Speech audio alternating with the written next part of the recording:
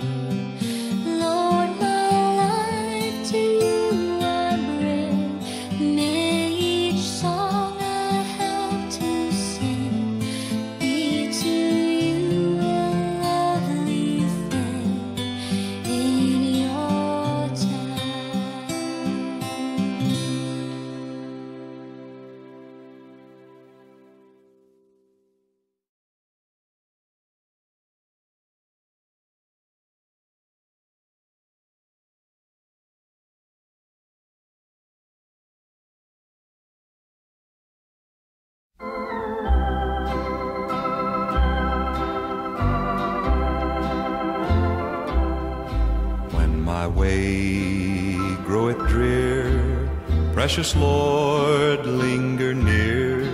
When my life is almost gone, hear my cry, hear my call, hold my hand lest I fall. Take my hand, precious Lord, lead me on. Precious Lord, take my hand, lead me on, let me stand. I am tired, I am weak, I am worn. Through the storm, through the night, Take my hand, precious Lord, lead me home.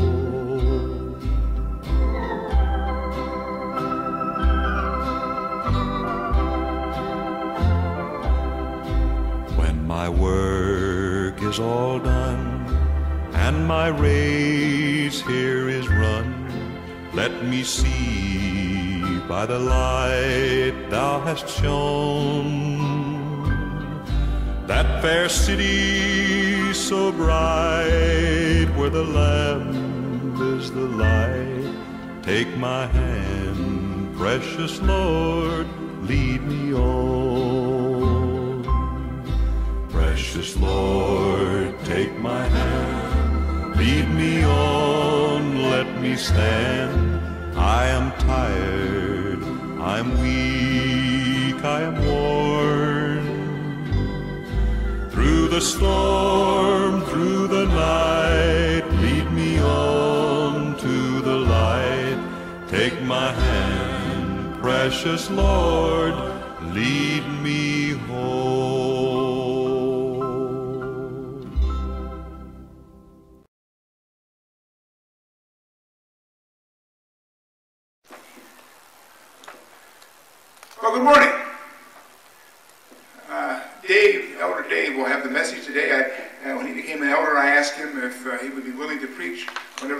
whenever there's a five Sunday month, and May has five Sundays. So this is the 31st of May.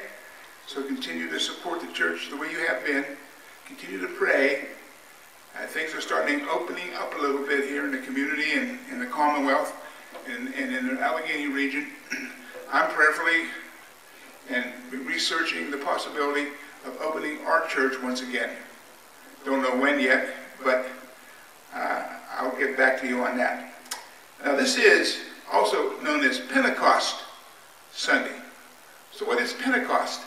That's when the Holy Spirit descended upon the disciples. 50 days after Easter. And we read in the book of Acts, which is the, the book about the church, this is what Jesus told them in chapter 1. He gathered them together. He commanded them not to leave Jerusalem, but to wait for what the Father had promised, which he said, and you heard uh, from me. That is the Holy Spirit. You have been, who have been saved, you have been indwelled with the Holy Spirit, whether you realize it or not. More about that in the future months. Then also in chapter 2, on the day of Pentecost, when the day, day of Pentecost had come, they were all together in one place. And suddenly, suddenly, there came from heaven a noise like a violent rushing wind. And it lifted the whole house where they were sitting. Imagine being there on that day. And there appeared to them tongues as they distributing themselves, and they rested on each one of them. And they were filled with the Holy Spirit and began to speak with other in tongues as the Spirit was given them in utterance. Now Peter had a response to all this, talking in tongues. He basically said people were they were talking in their native language. But it says beginning in verse 14 of chapter 2 of Acts, but Peter, yeah, but Peter uh, taking his stand with the, the 11, because they hadn't appointed Matthias yet to replace Judas, raised his voice and declared to them, Men of Judea and all you who live in Jerusalem, let me be, be known to you and give heed to my words. For these men are not drunk, as you suppose, for it's only the third hour of the day, which would be like 9 o'clock. But then, but this is what is spoken to us through the prophet Joel, which says, And it shall be in the last days, God says, I will pour out forth of my spirit on all mankind, and your song and your daughters will prophesy, your sons and your daughters rather, and your young men shall see visions, and the old men shall dream dreams. So as we go along, this is the coming of the Holy Spirit as we know it today. So again, before I turn this over to Dave, continue to be safe, continue to pray, and I, God bless each and every one of you. And it's in Christ's name that I come before you each and every Sunday. Amen.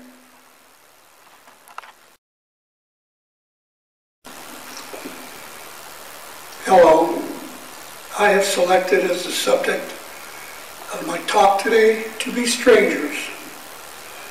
At some point in time, everyone has been a stranger. There are a few verses in the Bible to talk about strangers and how God expects us to treat them. In Exodus 22, 21, we read, Do not mistreat or oppress a foreigner, for you were foreigners in Egypt. In Leviticus 19, 33 to 34, we read, When a foreigner resides among you in your land, do not mistreat them. The foreigner residing among you must be treated as your native born. Love them as yourself, for you were foreigners in Egypt. I am the Lord your God. In Hebrews 13:2 we read, Do not forget to show hospitality to strangers, for by doing so, some people have shown hospitality to angels without knowing it. Luke 10, 25 to 37 deals with the parable of the Good Samaritan. One man was attacked by robbers. A priest and a Levite passed him by. They went on the other side of the road. But a Samaritan came by, treated the man's wounds, and took him to an inn where he told the innkeeper to care for him and he would pay him when he returned. Which of these three men do you think was a neighbor to the man who fell into the hands of the robbers? An expert in the law replied to Jesus, the one who had mercy on him. And Jesus told him, Go and do likewise. These biblical passages tell us that we are to be kind to strangers and accept them for who they are. One Sunday morning, in a church similar to ours, it was time for the morning worship. When it came time for the service, members of the congregation began to worship, but there was no pastor yet. A man dressed in a shabby overcoat and wild hair and could have used a bath came into the service. The church was packed and the man had trouble finding a seat. Finally, a member, a prominent businessman in the community, offered to help the man. He asked him to sit with him and his family and got him a bulletin. He found a hymnal for a visitor and helped him find a place in the bulletin. Of course, the congregation was murmuring about the man. Some were heard to say, doesn't he know how to dress for church? Others sitting close by him were holding their noses. Parents were trying to stop their children from staring and giggling. The businessman had to help the man to his feet when the hymn began, and the man did not sing. The congregation was getting nervous because the pastor still wasn't present, and soon it would be time for the sermon. The member leading the worship was sweating. No scripture was even listed in the bulletin. Think how you would feel if the pastor was not present for the worship. Maybe it would be your answer to your prayers, a short sermon. When it came time for the scripture and sermon, the stranger stood up and said, The Lord wants me to tell you something today. Heads jerked, and several people started to say something. You can imagine the buzz in the crowd. The stranger walked to the front of the church and started to unbutton his coat. There was a gleaming white pastor's collar underneath that old tattered coat. Then the man pulled off his unkempt wig. It was their pastor, and he had said, The word from the Lord today is this do not neglect to show hospitality to strangers, for by doing so, you may have entertained angels without knowing it. He called for the last hymn and sat down, leaving the coat and wig in the middle of the floor. Do you think that congregation ever changed? I've always said that it's easier to tell a story you know that has happened to you or someone that you know. When we were children, our family moved around an awful lot. We probably moved more than an army brat. In my school years, I attended eight different school systems. With all those school systems and moves, a child has a hard time not being a stranger. We would no sooner get settled in and make friends in one town, and off we went again. Of course, we moved around, but stayed together as a family. Other kids would and still do get bounced around in foster homes. I'm sure that they feel and felt like strangers too. As a young boy, my most memorable times were spent in Morado dwellings. We lived there two and a half years.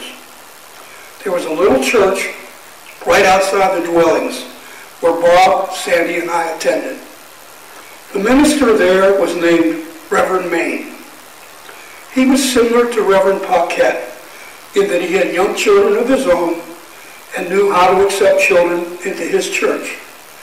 I don't know about Bob, but Sandy and I remember attending Bible school there. A few years ago, when I showed movies here at the church, I passed out flyers.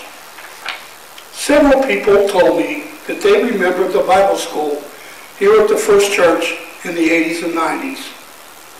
While living in Aliquippa, the four of us and perhaps Debbie attended the CMA church. The CMA church would send a bus to pick us up if we wanted to attend the church service. We would go to a woman's named Mrs. Fishlock's apartment. She was a very grandmotherly type. I will always remember my times in those churches because of Reverend Maine and Mrs. Fishlock. In between my time in Laredo and Aliquippa, I tried out several churches in New Brighton, Patterson, and Chippewa. I never felt accepted in any of those churches. Maybe it was because I was a child. I don't know. We finally settled into New Brighton for my sophomore year. Reverend Hall came to our home to invite us to the First Church of God. When I first came into the church sanctuary, I was greeted by Park and Ed Ift and Claude Fortner. Those three men treated me so well, and I knew at that moment that this was the church for me. While there were times as I got older, due to work and other situations, I didn't always attend church, but still, this was the place for me. I heard the term Christian CEOs on TV recently. It means Christmas and Easter only. This was often the way it was for me if I could get off work.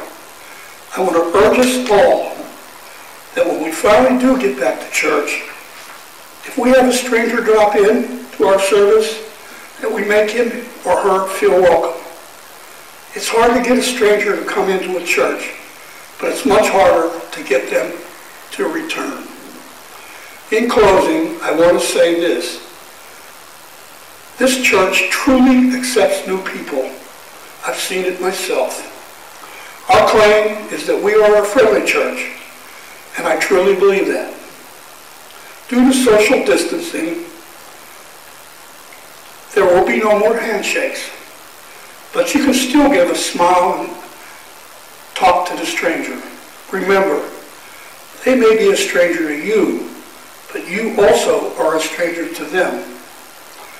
Lord, during this health crisis, I ask that you continue to watch over us all.